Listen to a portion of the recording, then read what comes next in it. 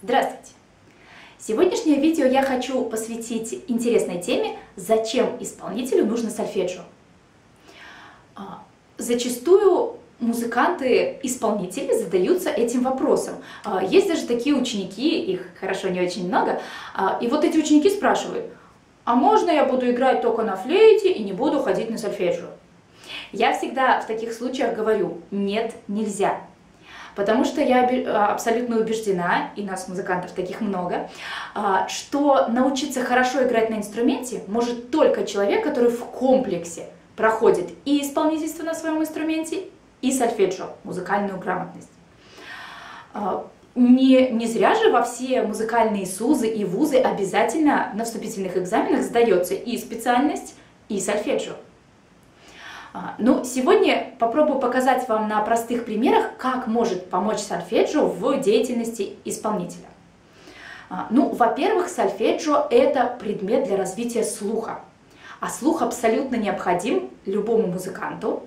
А, Причем это та музыкальная способность, которая достаточно неплохо развивается. И именно для этого ребенок или уже взрослый и ходит на сольфеджио, чтобы развивать свой слух. На наших духовых инструментах высота не фиксированная – то есть мы можем одну и ту же ноту при одной и той же аппликатуре взять по-разному по интонации. Это зависит от того, как мы наберем дыхание, как мы поставим губы, как мы откроем резонаторы. А, и для того, чтобы попасть на действительно нужный тон, мы его должны вначале предслышать. То есть мы должны представлять, где должен быть этот звук, и тогда мы его сможем сыграть чисто. Это еще очень важно при игре в ансамбле.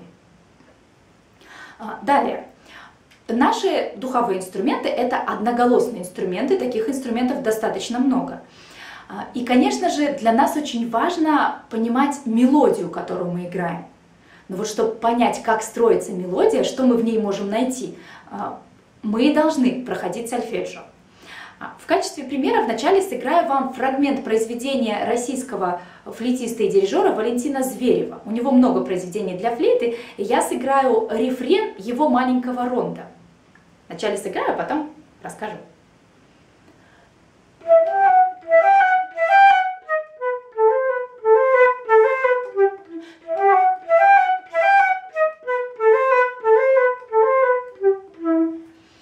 А, как многие из вас могли услышать, практически весь рефрен построен на опеваниях.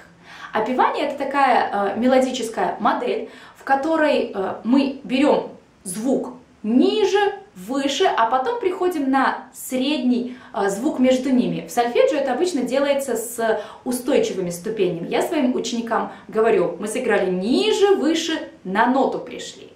И чтобы понимать, как это интонировать, мы должны уметь находить эти опевания в нашей мелодии.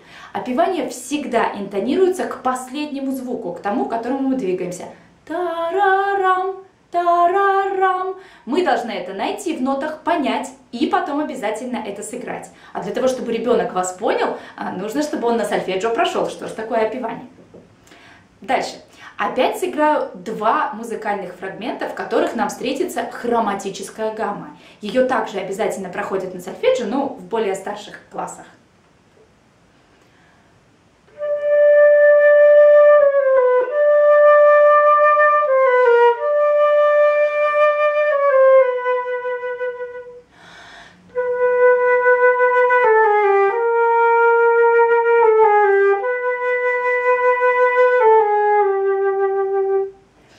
Я думаю, кто-то точно узнал эту музыку, это песня индийского гостя римского Корсакова. Здесь хроматическая гамма нужна композитору, чтобы изобразить такой восточный томный колорит. И играю второй фрагмент э, из произведения Дебюсси «Маленький негритенок».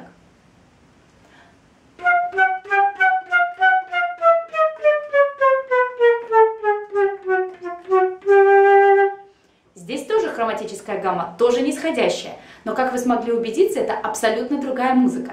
Но здесь играет роль и темп, и штрихи, которые отличаются, и от этого отличается характер музыки. Но, чтобы вообще понять, что человек играет, ребенок должен найти вот эту хроматическую гамму в своих нотах. А потом уже обсудить с педагогом, как с помощью штрихов, динамики э, создать тот характер, который предполагал композитор.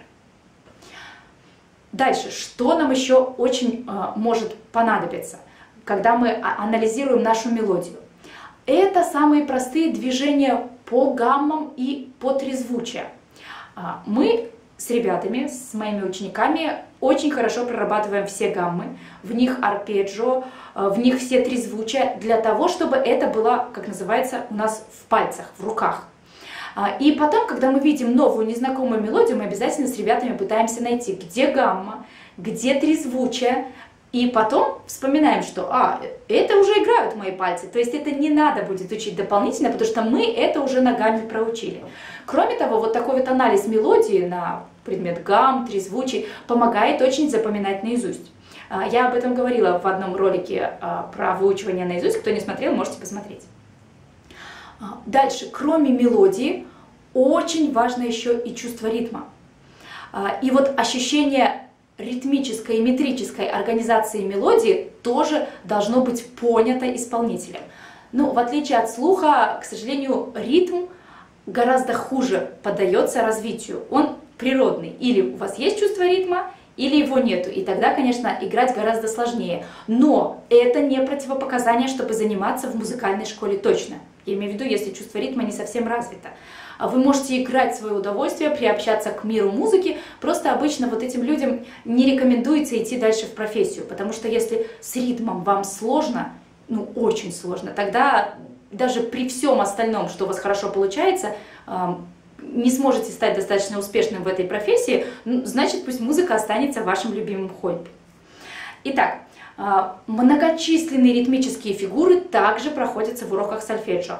Например, одна из любимых э, наших фигур – синкопа, то есть смещение акцента с сильной доли на слабую. Происходит это потому, что э, слабая доля заполняется более длинной э, нотой.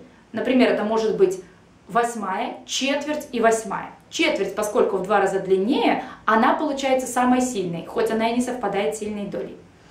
Опять сыграю э, фрагмент из «Маленького негритенка» Дебюсси.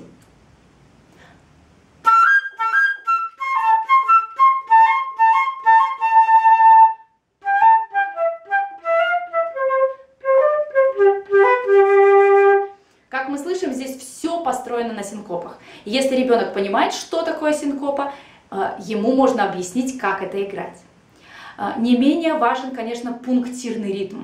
У меня есть отдельное видео о том, как исполнять пунктирный ритм, поэтому тоже, кто не смотрел, переходите по ссылке и смотрите. Но вот понимать, что это пунктирный ритм, ребенок может только в том случае, если он проходит сольфеджио.